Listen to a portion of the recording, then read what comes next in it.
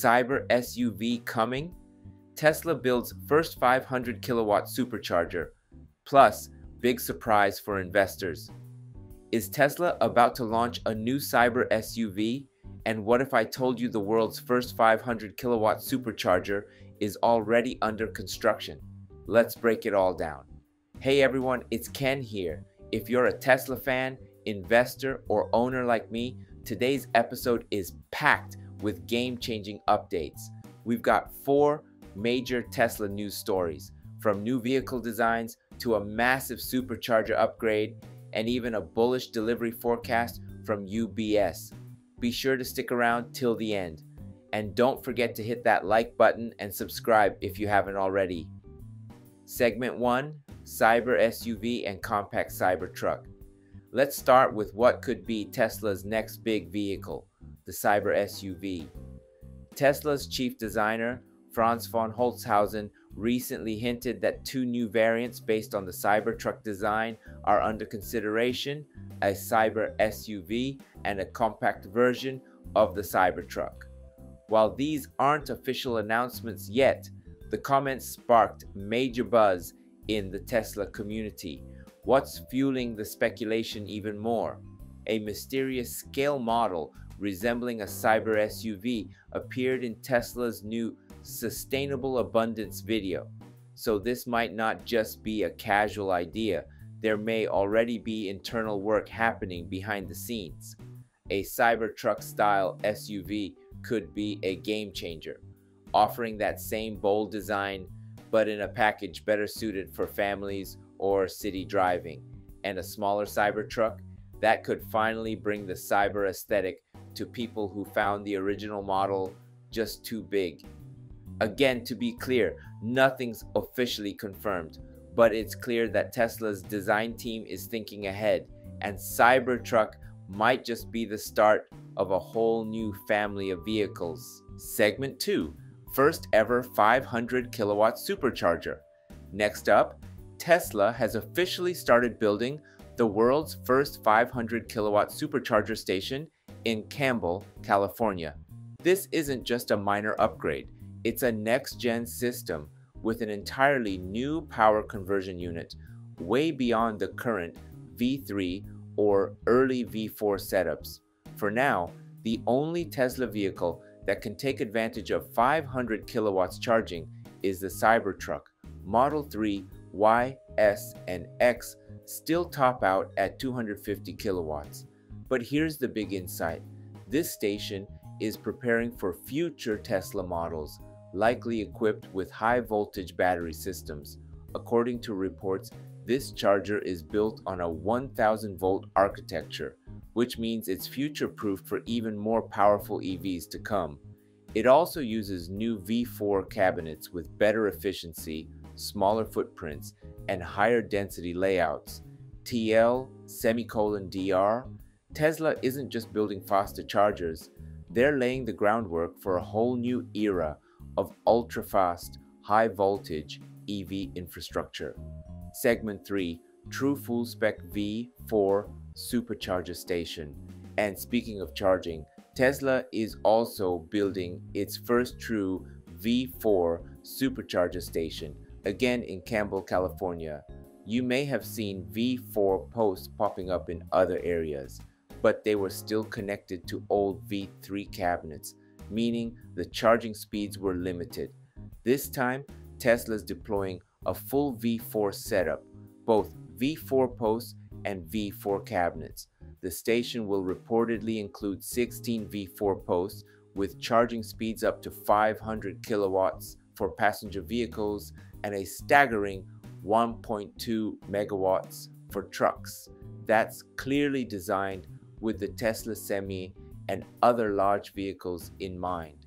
And thanks to the more compact design of the V4 cabinets, Tesla will be able to roll these out in more locations with limited space. It's a clear sign that Tesla is thinking far beyond today's cars. They're building the charging network for the next decade. Segment 4 UBS upgrades Tesla Q3 delivery forecast. Now let's talk Tesla stock. UBS, one of the world's biggest financial firms, just raised their Q3 delivery forecast for Tesla from 431,000 to 475,000 vehicles. That's a jump of over 40,000 units, a strong bullish signal for investors. Why the sudden optimism? First, UBS believes that the US IRA tax credit, which gives buyers up to $7,500, could expire in September 2025. That's driving a wave of early demand as people rush to buy before the credit disappears.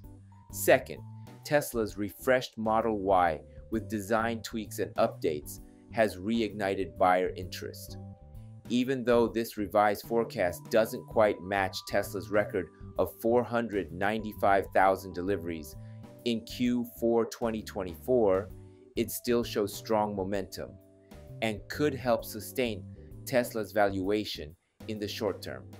UBS also projects 1.62 million vehicles delivered for the full year 2025, which shows they're betting on strong overall demand continuing. So, what does all this tell us about Tesla's next moves?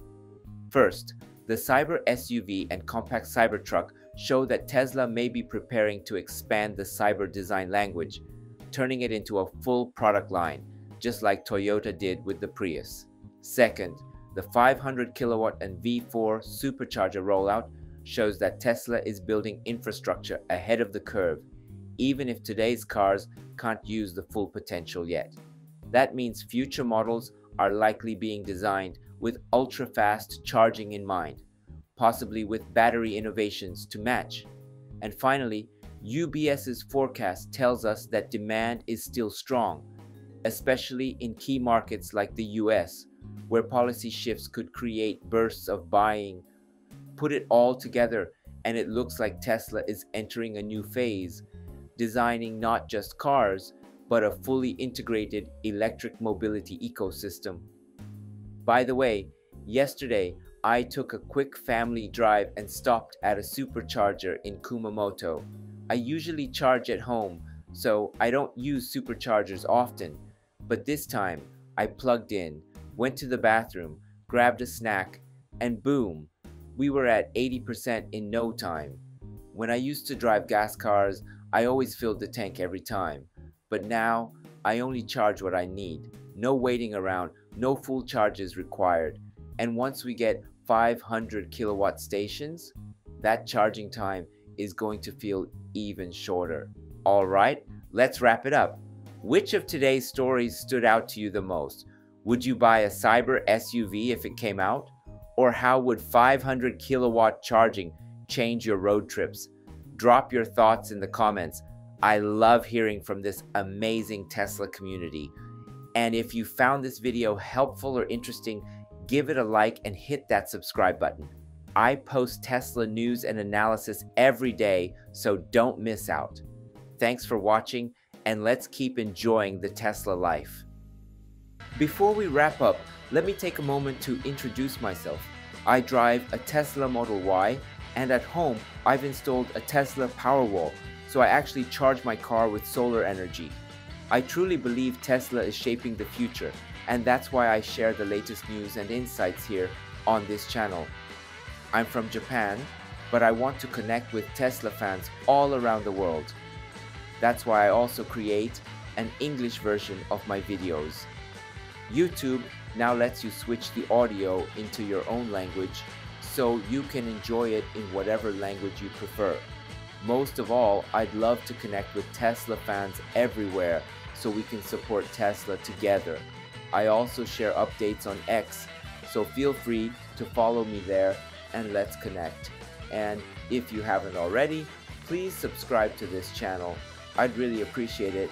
Thanks for watching and I'll see you in the next video.